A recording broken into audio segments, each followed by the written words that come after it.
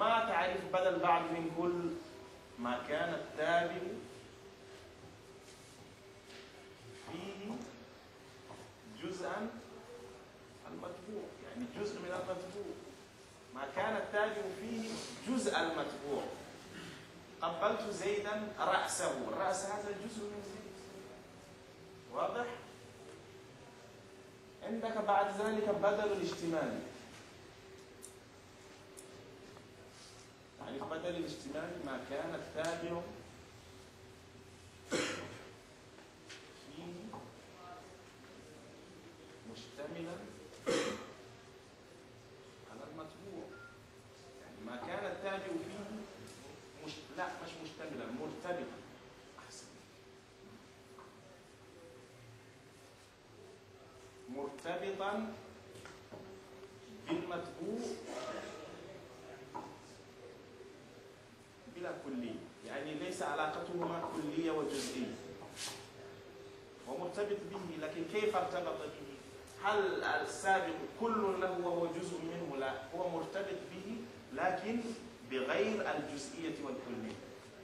عجبني زيد علمه علم هذا جزء من زيد ولا ليس جزء من زيد؟ ليس جزء من زيد. لكن زيد مشتمل عليه. وقلنا التفريق البسيط للمبتدئ أن بدل البعض ما يحس ويرى. بدل الاشتمال ما لا يحس ولا يرى. العلم الخلق. أعجبني زيد الخلق والخلق لا يرى. عجبني زيد الكلام والكلام لا يرى. وهكذا. لكن كل ما كان محسوسا محسوس يعني ملموس ما يلمس. اسمه بدل بعد من كل. بدل الغلط ولا بدل الخطأ ما تعرف بدل الغلط؟ ما كان التابع فيه مغايرة. للمتبوع يعني هو غير رأيت زيدا حمارا. حمار غير زيد. رأيت حمارا فرسا. الفرس غير زيد. بدل الغلط انتهى التوابع. بقي منها شيء؟ ماذا بعد ذلك؟ أيوة المنصوبات. أو ماذا قال في المنصوبات؟ صح من الأبيات. البيت الأول يقول ماذا؟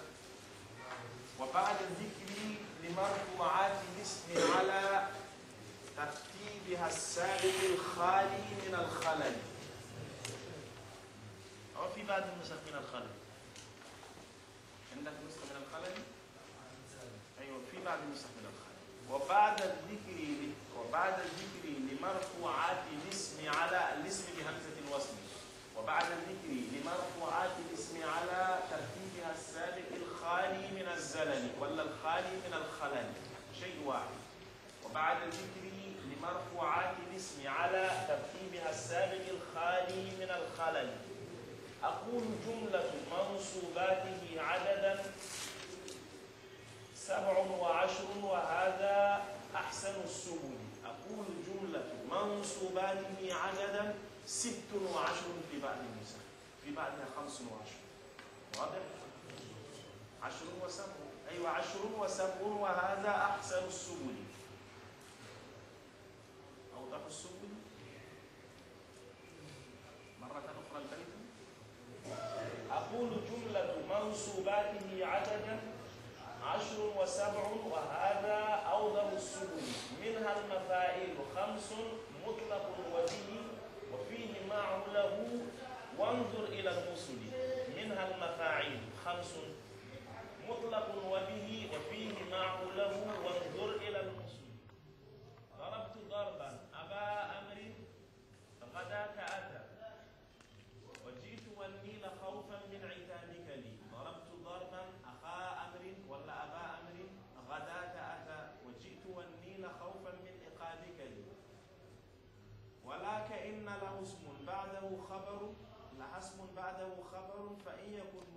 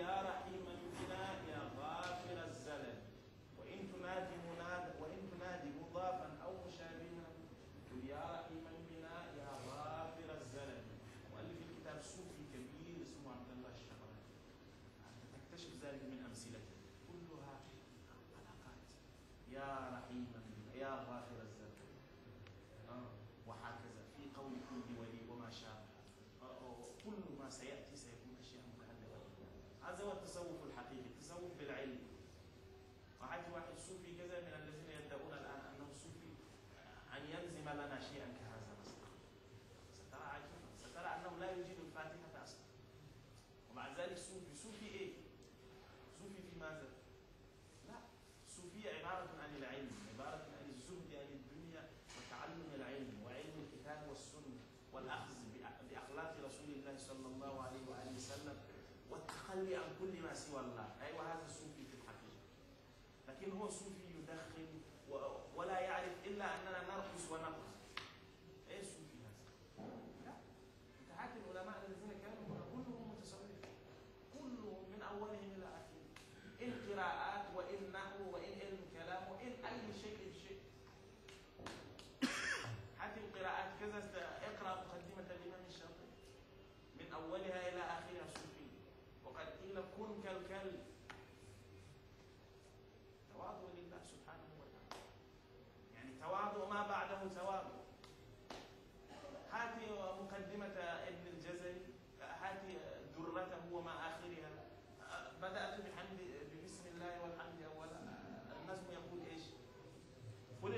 لله الذي وحده على ومجده واسأل أو هو توسل. أول حاجة وتوسل. صوفي من الألف إلى الياء. وبعد ذلك في آخر النجم سددت عن البيت الحرام والزورية المقام الشريف المصطفى أشرف المال. صوفي مئة المئة.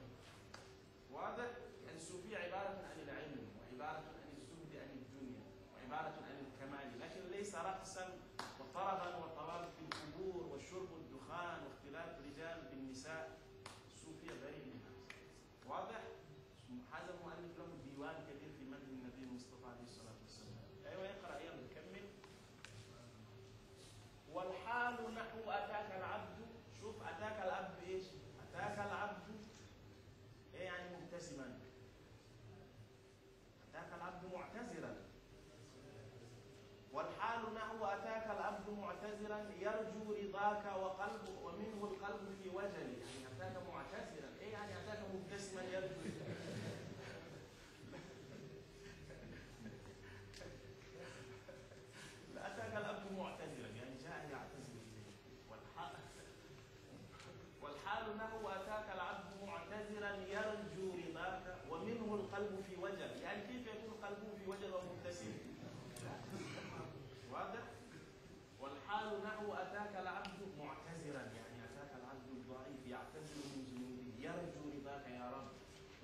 القلب في وجبي.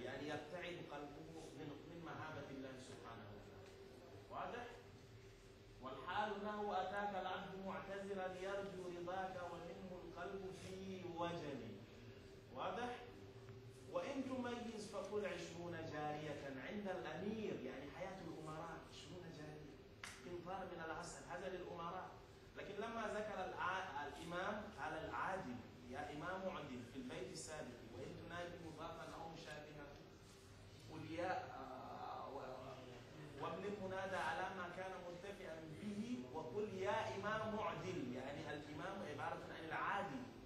لكن الأمير 20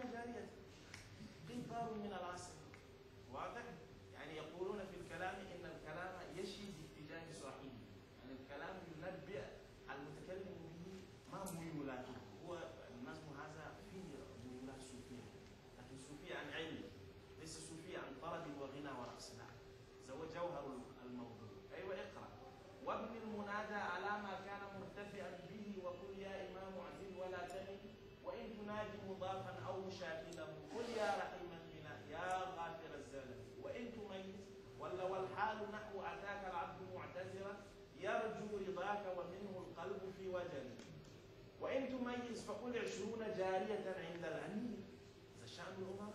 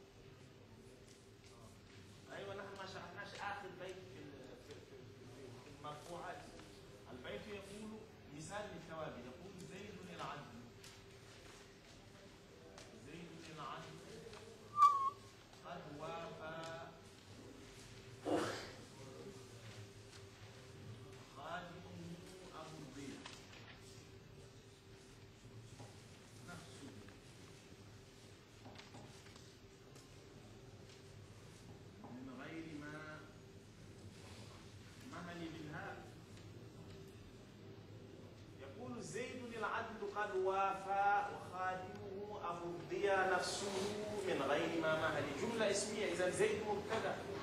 زيد مبتدأ مرفوع علامة رفعه ضمة ظاهرة في آخره. العدل نعت لزيد. إذا طلع النعت العدل نعت لزيد. نعت حقيقي ولا سبب؟ نعت حقيقي نعت المرفوع مرفوع علامة رفعه ضمة ظاهرة في آخره.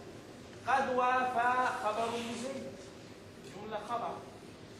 زيد العدل. إيه الذي ما الذي حصل لزيد؟ قد وافى بمعنى قد أتى ثم عطف عليه وخادمه المعطوف العطف يعني وخادمه معطوف على زيد. خادمه أبو الضياء. بيان؟ ها؟ ولا بدل؟ بيان؟ وبدل في نفس الكلام. يعني كل ما جاز أن أعربه بدلا أعربه عطف بيان إلا في مسائل. إذا مثال للبدل وعطف البيان. ثم بعد ذلك نفسه. من غير ما محل جاء في محل نفس حال.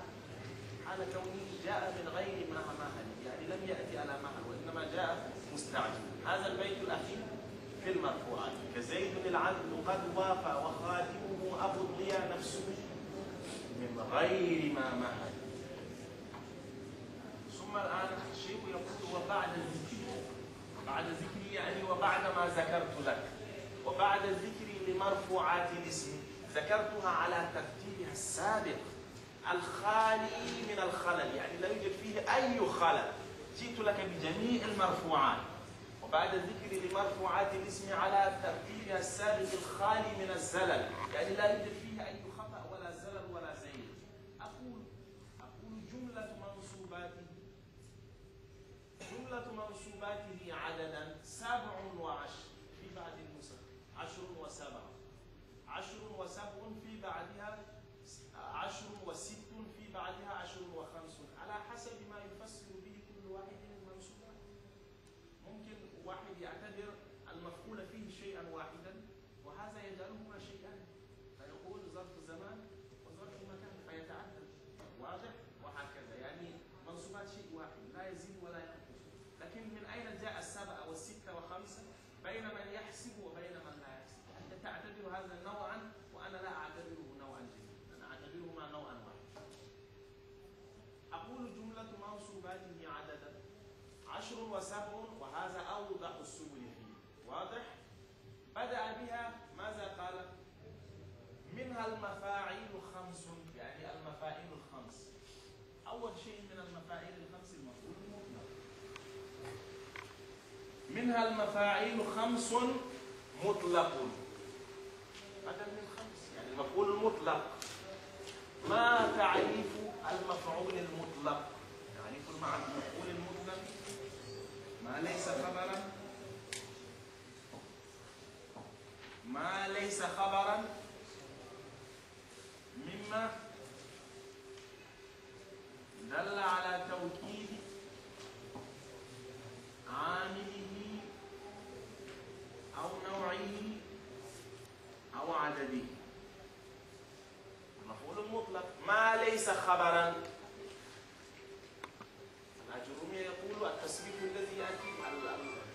الثالث الذي يأتي من تصريف الفعل. الاسم الثالث من تصريف الفعل. ضرب يضرب ضربا. أكل يأكل أكلا. هذا هو المصدر. هذا هو المفعول المطلق. ولماذا سمي مفعول مطلق؟ لأنه لا قيد له. بقية المفاعيل كلها مفعول به مفعول فيه مفعول معه مفعول لأجله. لكن هو مفعول فقط. وهو المفعول في الحقيقة. لأن كل ما سواه مفعول بإضافة. أنا إذا قلت ضربت زيدا أنا اسمي ضارب زيد اسمه مفعول لكن يوجد حدث. هذا الحدث اسمه الضرب. الضرب هذا هو المفعول ولا زيد هو المفعول؟ ضربت زيدا. الضرب هو المفعول في الحقيقة ولا زيد هو المفعول؟ الضرب هو المفعول.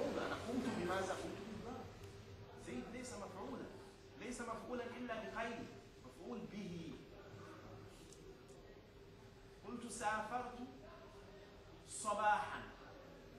سافرت صباحا. على اسمي مسافر. والسفر حدث وصباح. ما الذي فعلته؟ السفر والسفر هو المفعول في الحقيقة. صباحا يقال عليه مفعول لكن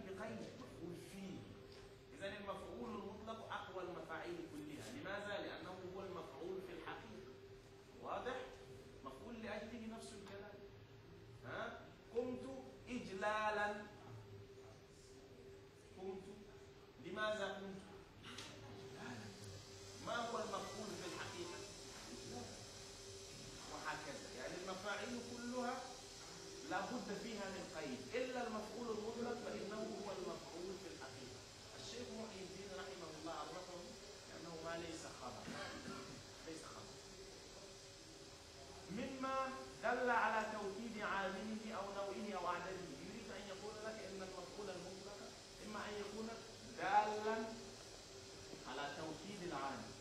ضربت زيدا ثم قلت ضربا. ضربا الآن مشتق. أحرفه وأحرف ضربت شيء واحد ويؤكد الآن. ولا قلت سرت سيرتين. سيرتين الآن. يبين عدد يبين عدد السير. ولا قلت ضربت؟ ضرب الكرام ضربت ضرب الكرام يبين نوعه. اذا المفعول المطلق ثلاث أنواع. مؤكد للعامل والتأكيد للعامل. قد يكون بلفظه قد يكون بمعناه. ضربت لكما. اللكم بمعنى الضرب. ضربت رحلا الرجل بمعنى واضح؟ وسرت سيرتين وهو هكذا. لكن ما معنى قوله ما ليس خبرا يريد ان يقول لك إن المفعول المطلق لا يسمى مفعول مطلق إلا إن لم يكن عمدة في الجملة. إن كان عمدة في الجملة لا يسمى مفعول مطلق. مثلا أنا إذا قلت فهمك فهم جيد. فهمك فهم جيد. ما اعراب فهمك فهم جيد فهمك مبتدا مصدر ولا غير مصدر؟ مصدر لكنه لا يعرف الآن لأنه مفعول مطلق رغم كونه يأتي في التصريف الثالث للفعل لكن لا يقال عليه مفعول مطلق لماذا؟ لأنه عمدة في الكلام. فهمك فهم ما يعرف فهم؟ خبر من عمدة في الكلام ولا قلت أعجبني فهمك للدرس؟ أعجبني فهمك. فهمك الآن مصدر لكنه عمدة لأنه هو الفاعل لا يسمى مفعولا. واضح؟ منها المفاعل خمس مطلق وبه يعني هو مفعول به. ما تعريف المفعول به؟ الاسم المنصوب الذي وقع عليه الفعل؟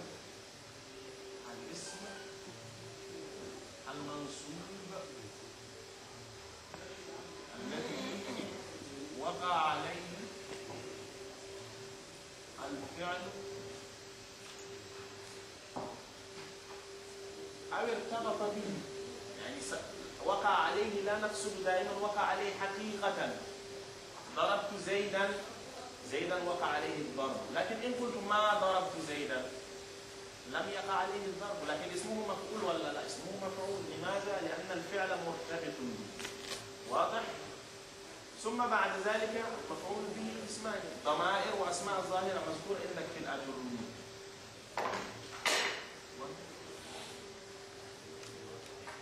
مطلق وبه وفيه إيش؟ وفيه المفعول فيه. إذا الثاني المف... الأول المفعول المطلق الثاني المفعول به الثالث المفعول فيه ما تعريف المفعول فيه؟ مع المفعول فيه ما تعريفه الاسم. المنصوب الاسم المنصوب يعني اسم الزمان. الاسم المنصوب باللفظ الدال باللفظ الدال على ماذا؟ على المعنى الواقع فيه يقول تعالى اسم منصوب باللفظ الدال على المعنى الواقع فيه لكن اسم منصوب ممكن زمان وممكن مكان هو اسم منسوب منسوب بماذا؟ منسوب بلفظ وذلك اللفظ يدل على حدث وقع فيه أنا إذا قلت السفر غدا هكذا سافرت يوم الخميس يوم الخميس عرفنا المفعول فيه بأنه اسم منصوب الخميس اسم ويوم اسم وهو منصوب ما الذي نصبه؟ نصبه لفظ وكلمة سافرت. سافرت تدل على معنى وقع في ذلك اليوم. السفر حدث متى؟ حدث في يوم الخميس. ولا قلت جلست أمام الأمين جلست أمام الأمين كلمة أمام اسم منصوب ما الذي نصبه؟ نصبه حدث لفظ دال على معنى أي على حدث وقع فيه وقع في المكان أين وقع الجلوس؟ وقع أمام الأمين واضح؟ ثم بعد ذلك ماذا؟ مطلق الولي وفيه معه المفعول معه راجعا المفعول معه تعريف المفعول معه الاسم الفضلة الموصوف بفعل أو ما فيه حروف الفعل ومعناه بعد واو دالة على المعين هو اسم وهو فضل يعني لا يكون عمدة في الجملة يأتي بعد تمام الكلام منصوب بفعل أو ما فيه معنى الفعل وحروفه حروف الفعل ومعناه قلنا المفعول معه لابد أن يسبق بفعل أو ما فيه حروف الفعل. ويأتي بعد واو وتكون تلك الواو دالة على المعية يعني نص في المعية. تقول تقول سافرت والجبل. سافرت فعل وفاعل انتهى الكلام. واسم قدم يعني جاء بعد تمام الكلام. منصوب والجبل. ما الذي نصبه؟ فعل. أو ينسب بشيء فيه معنى الفعل وحروفه. قلت أنا مسافر. والجبل أنا مسافر. مسافر فيه معنى الفعل وفيه حروف الفعل ها؟ بعد واو يعني يأتي هو بعد واو هذه الواو تكون نصا في المعية. يعني تدل على المعية بعيدا عن واو الأصل. لماذا؟ لأن هذا الواو لا يستطيع أن يعطف سافرت والجبل. الجبل نحن قلنا ما هو العطف؟ يعني كلاهما مشتركان في الحكم. أنت الآن أنت الذي سافرت لكن الجبل لم يسافر. أنت قلت أنا مسافر والجبل ولا ذاكرت والمصباح. أنت الذي ذاكرت لكن المصباح لا يذاكر. صح؟ ذاكرت والمصباح المصباح لا يذاكر. اذا واو نص على المعين يعني واو لا تحتمل الامر واضح هذا هو تعريف المفعول معه فماذا بعد ذلك؟ مفعول له يعني المفعول لأجله مفعول له ويقال المفعول لأجله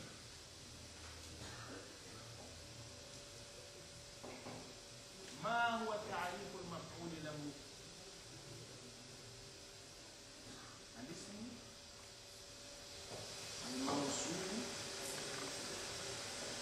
الذي يذكر بيانا بسبب وقوع الفعل الاسم المنصوب الذي يذكر بيانا الاسم المنصوب الذي يذكر بيانا بسبب وقوع الفعل. قلت تعلمت محبة للعلم تعلمت محبة محبة لله اسم منصوب لماذا ذكر؟ ذكر سببا لبيان وقوع الفعل. لماذا حدث التعلم؟ محبة في العلم. لكن ذكرنا أن المفعول له لابد له من شروط. المفعول له أي شيء ينسب على أنه مفعول له لا بد له من شروط. صح؟ كان هذا الكلام. وما يشروط يا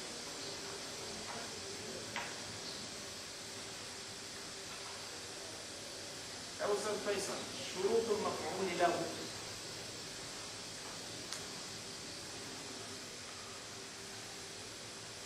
شروط المفعول له يا عثمان شو- المفعول له له خمس شروط الشرط الأول أن يكون مصدرا لا بد أن يكون مصدرا لا يأتي شيء مفعولا لأجله إلا وهو مصدر واحد ثانيا أن يكون قلبيا. ما معنى أن يكون قلبيا؟ يعني أن يكون شيئا في القلب. تعلمت قلت محبة. المحبة في القلب. قمت إجلالا.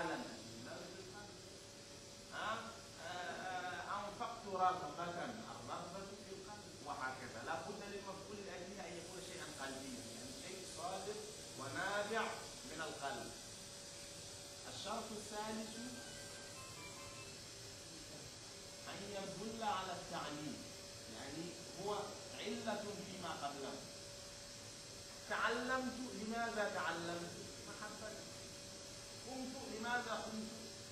إرادة قلبي وهو السبب. أن يدل على التعليم. الشرط الرابع أن يتحد مع عامله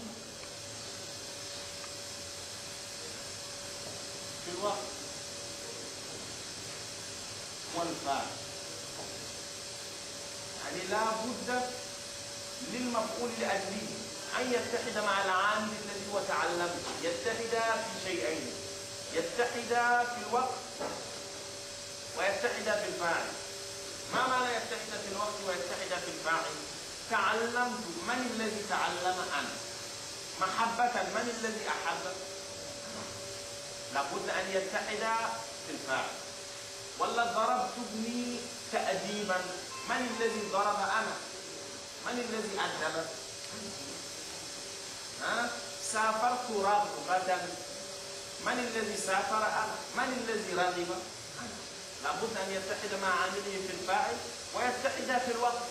تعلمت محبة. متى تعلمت؟ عندما أحببت.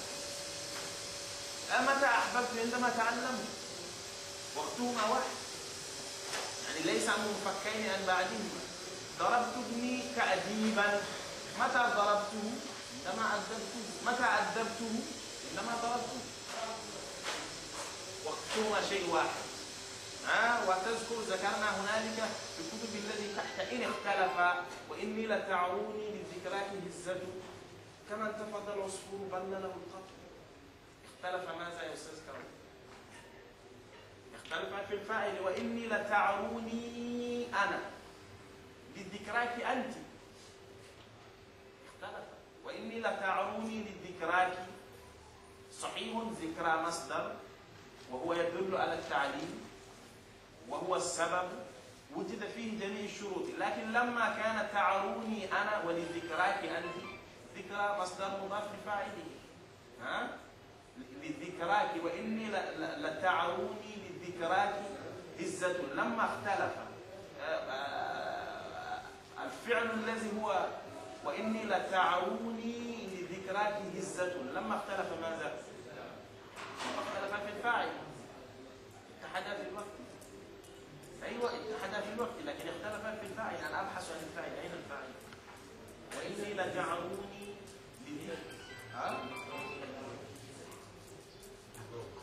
أيوه وإني لتعروني هزة لا لا اتبعك في هذا يا أستاذ كيف الواو إيش؟ إني لتعروني لذكراك هزة خلينا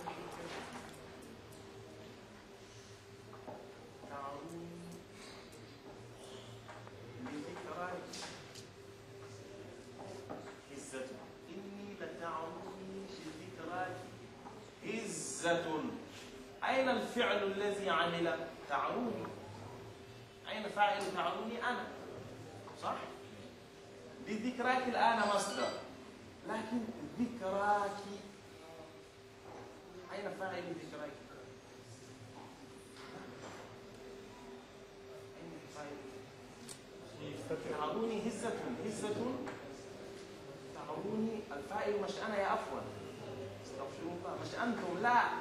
إني لتعروني. الياء مفعول هزة هو الفاعل. هزة هو فاعل تعروني كما قال الأستاذ به هزة هو فاعل تعروني ثم ذكراك أي أنا. تقديره ذكري إياك. وإني لتعروني هزة فاعل تعروني وهزة لذكراك أي لذكري إياك. فاعل المصدر يعني لما جاء فاعل المصدر فاعل المصدر عفوا لما جاء فاعل المصدر وهو ضمير متكلم وفاعل تعروني هزة اختلف الفاعلان لابد أن أجره. الآن لا يجوز لي أن أنسبه على أنه مفعول مطلق. واضح؟ وذكرنا مثالا آخر. فجئت وقد نضت لنوم ثيابها. قلنا فجئت وقد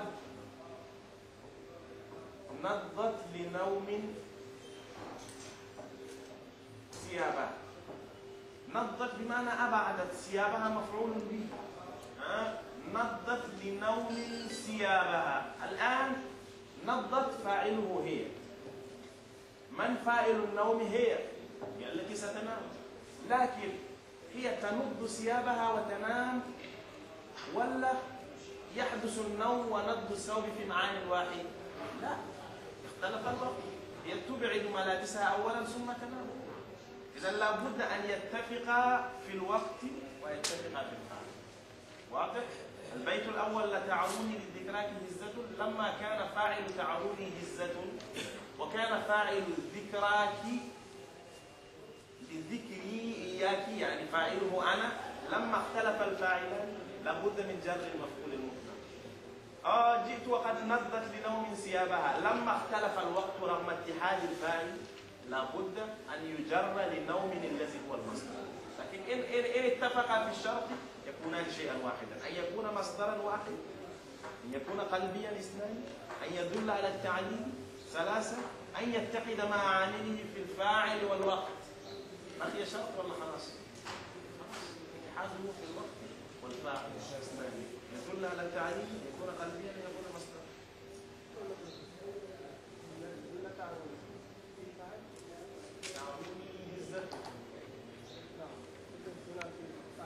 لا لا لا أشياء مفعول به تعروني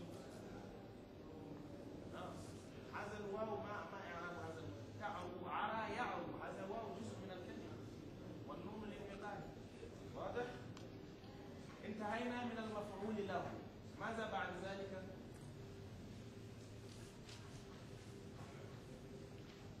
ها؟ وانظر إلى المثل يعني هو سيضرب لنا الأمثلة فضل قال ضربت ضربا أبا عمرو غداة أثر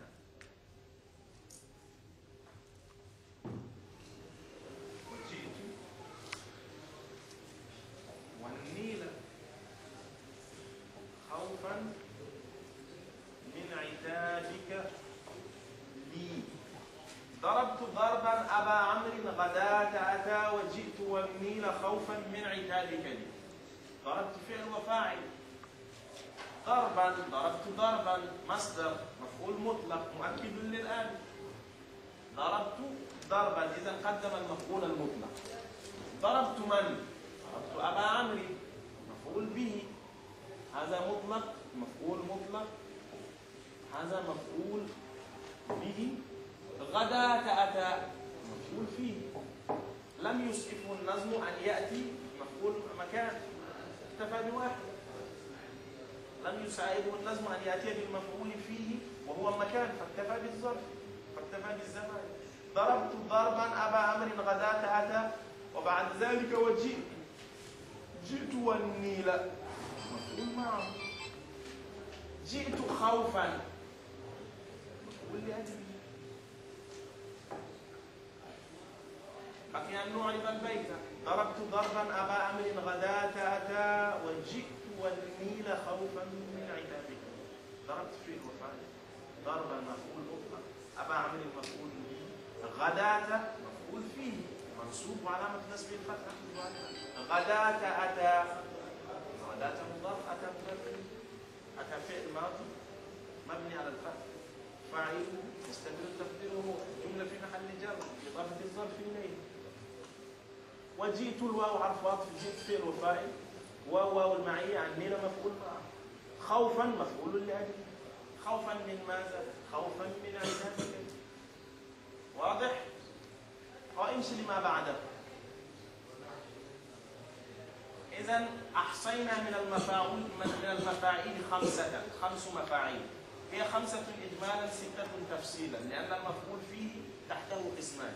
ظرف زمان وظرف مكان. وماذا بعد ذلك؟ ولا كأن لها اسم بعده خبر. يريد أن يقول لك اسم لا واسم إن. اسم إن منصوب. اسم لا النافية للجنس أيضا منصوب. ولا كأن لها اسم بعده خبر تتميم للبيت. ثم استطرد إن اسم إن واثق في ذاته أخذ في المرفوعات لكن اسم لا اسم لا يحتاج إلى شروط وله أحكام وله أحوال ذكر بعضها فإن يكن مفردا فافتحه ثم سلي يعني إن يكن اسم لا مفردا فافتحه أولا قلنا اسم لا نافية للجنس لابد فيه من أربعة شروط الشرط الأول أن يكون الاسم نكرة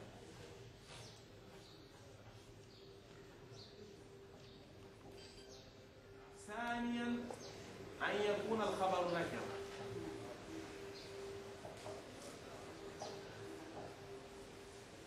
رابعا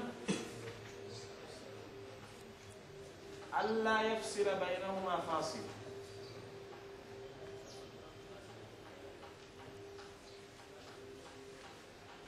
أو رابعا ألا يتكرر لا.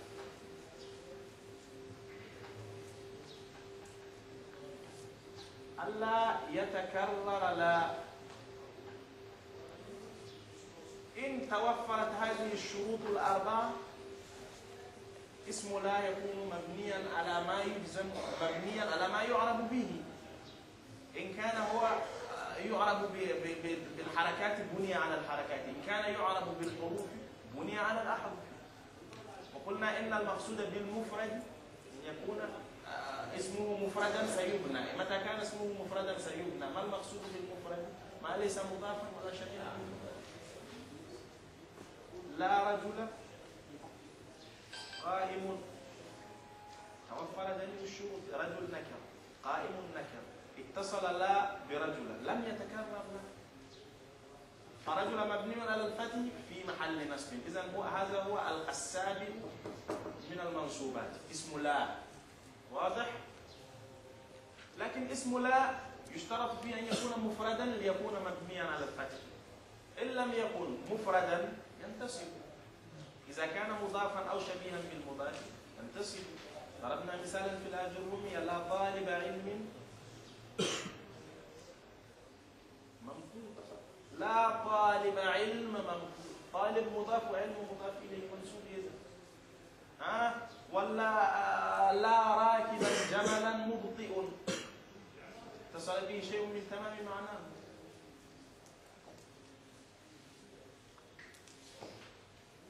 لأن جملا منصوب براكبة اتصل براكبا شيء من تمام معناه فيكون منصوبا. انتهينا من اسم لا.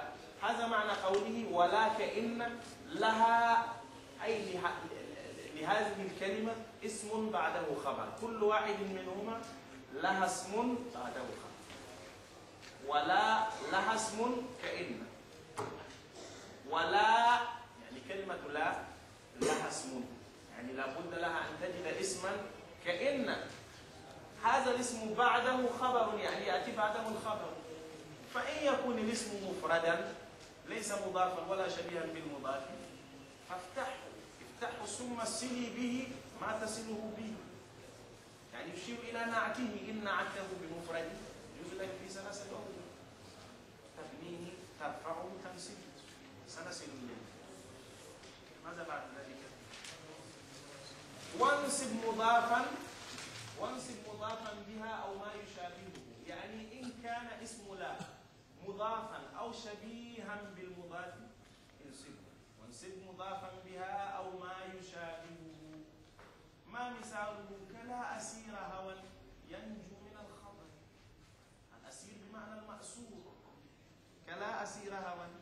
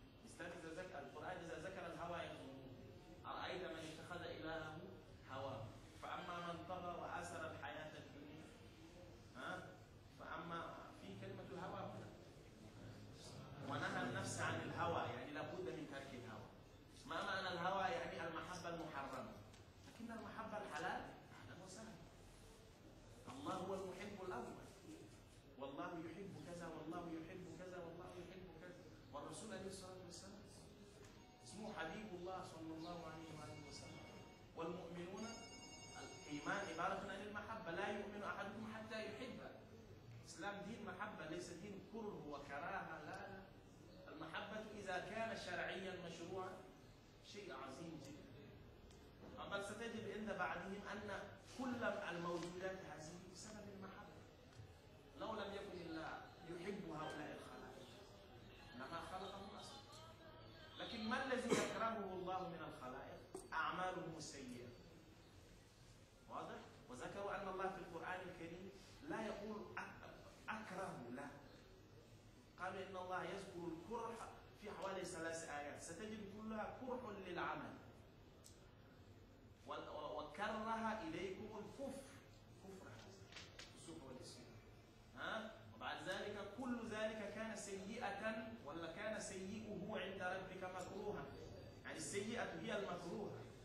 ليس الذين يقومون بها. لا الذين يقومون بها قبل أن يرتكبوها الله يحبهم. وعندك شاهد من هذا في الحديث القدسي. لو يعلم المدبرون أني آه كما أنا مشتاق لتقطعت أوصالهم من محبتي ولماتوا شوقا إلي. الإسلام أقوى.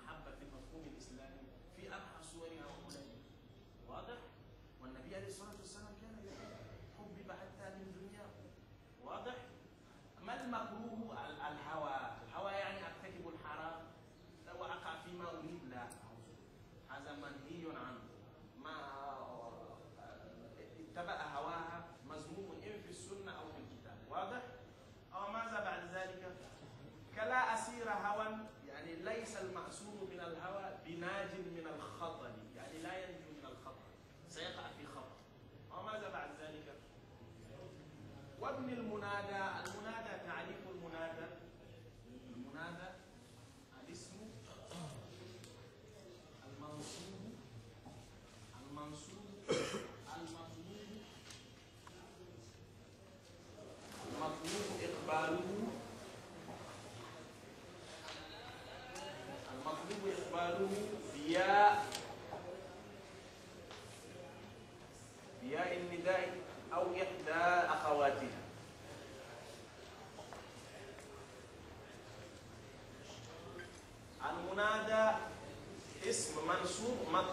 إقباله بياء النداء أو إحدى أخواته لو قلت المطلوب إقباله مطلقا. لو أنا علمت هكذا. هل اسمه هناك؟ مطلوب إقباله. هو واقف كذا عملت هكذا. مطلوب إقبال لكن ليس منادى إذا الاسم المنصوب المطلوب إقباله بياء النداء أو إحدى أخواتها بأسلوب عربي واضح؟ هذا هو المنادى. المنادى يشترك مع لا في حكم. وهو أن المقصود بالمفرد في باب النداء ولا النافية للجنس ما ليس مضافا ولا شبيها بالمنادى واضح؟ ثم الشيخ قال وابن المنادى على ما كان مرتفعا يعني المنادى يبنى على ما كان مرفوعا به يعني إذا كان اسما مفردا أو جمع تكسير أو جمع مؤنث سالم ها أنت تعرف أن هذه الأشياء كانت ترفع بالحركات إذا ستبنيه على الحركات يا زيد مفرد. يا رجال مفرد. ها؟ يا مسلمات مفرد. لأن ما المفرد في هذا الباب؟ ما ليس مضاف ولا شبيه بالمضاف هذا إذا كان يرفع بالحركات. إن كان يرفع بالأحرف أتي معه بالأحرف. يا مسلمون مبني على الواو. يا مسلمين مبني عنده أقول يا مسلمين يا زيدان مبني على الألف وهكذا يعني يبنى على ما كان مرفوعا وفيه يأتي ال- البناء النيابي البناء النيابي يأتي في في المنادى هو مذكور عندك في تهذيب الأزهري المنادى الذي كان مبنيا قبل النداء آه يعني إذا ناديته أتيه واضح؟ وماذا بعد ذلك؟ آه ماذا كان ماذا كان الأفعال فعل أشوف إن شاء الله آه ماذا بعد ذلك؟ وابن المنادى على ما كان مرتفعا به وقل يا إمام اعدل اعدل ولا تمل يعني ولا تمل واضح؟ والمنادى ينقسم إلى خمس أقسام المنادى المفرد ها هذا يبنى ثم عندك المنادى الذي هو نكرة مقصودة يعني النكرة لكن قصدته بالنداء. كيف أقصد النكرة وقفوا أمامي فأشرت إلى أحدهم وقلت يا رجل كلمة رجل نكرة لكن لما عينت أحدهم وقلت له يا رجل سيكون مبنيا على الظلم. لماذا؟ لأن من العلماء من عدوه من المعارف لأن ليس نكرة لأنني عينته. واضح؟ إذا المفرد العلم واحد آه والنكرة المقصودة اثنان هذان يبنيان ما سواهما يكون منصوبا المضاف يا طالب العلم والشبيه بالمضاف يا رحيما بالمؤمنين وما هو الخامس النكرة غير المقصودة وقلنا لا ينادى النكرة الغير المقصودة أصله أن لا ينادى إلا لطارئ كالأعمى يقف في الطريق ويقول يا رجلا خذ بيدي إذا المنادى خمسة العلم المفرد العلم يبنى على الضم النكرة المقصودة على الضم لتنزيله منزلة العلم. الم- المضاف ينسب بالفتح ولا ينون لأن الإضافة موجودة. عكسه النكرة غير المقصودة. آه، وما اتصل به شيء من تمام معناه. ينسب وينون لأنه لا يوجد فيه إضافة. يا رحيما بالمؤمنين. آه، ينسب رحيما وينسب وينون. يا غافلا والموت يطلبه ينسب وينون واضح؟ أو انتهينا من المنادى هذا معنى قوله وابن المنادى على ما كان منتصبا به وقل يا إمام عدل ولا تمل آه وإن تنادي مضافا بقية الأقسام وإن تنادي مضافا أو مشابها قل يا رحيما بنا رحيما يعمل في الضمير يا رحيما بنا اتصل به شيء من تمام المعنى لأن رحيم اسم فاعل يعمل فيما بعده يا رحيما بنا يا غافر الزلل رحيم صفة مشبهة اسم الفاعل يا رحيما بنا يا غافر الزلل اسم فاعل اتصل به شيء من تمام معناه يعمل آه، عمل الفعل يعني ينسب ما بعده ستنسبه في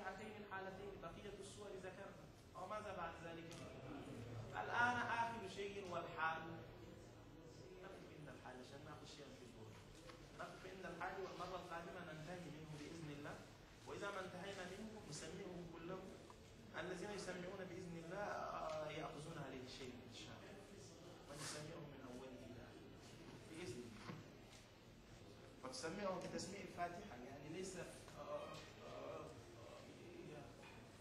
لا تسمع تسمع يعني قرأت لأن يوجد تحايل على الحفظ تحايل على الحفظ أنني أجعل المتن أمامي وأضبطه شكلا وصورة.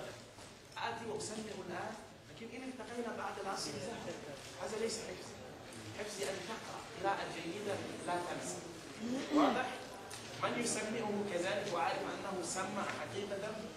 آه له بشرى عظيمة إن شاء الله وإلى أين وصلنا؟